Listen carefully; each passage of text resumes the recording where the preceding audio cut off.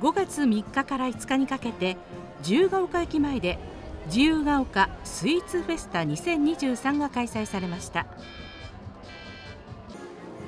このイベントはスイーツを通して街の魅力を伝え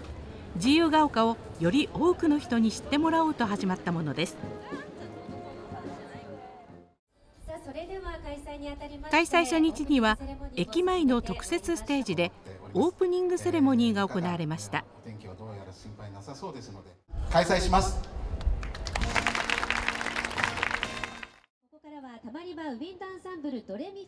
開催宣言の後には参加団体によるコンサートが行われました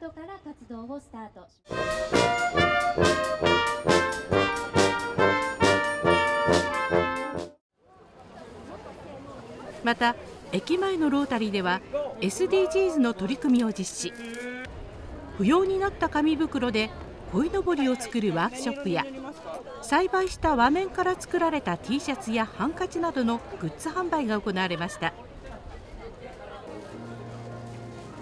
自由が丘駅周辺の23店舗が参加するスタンプラリーも行われ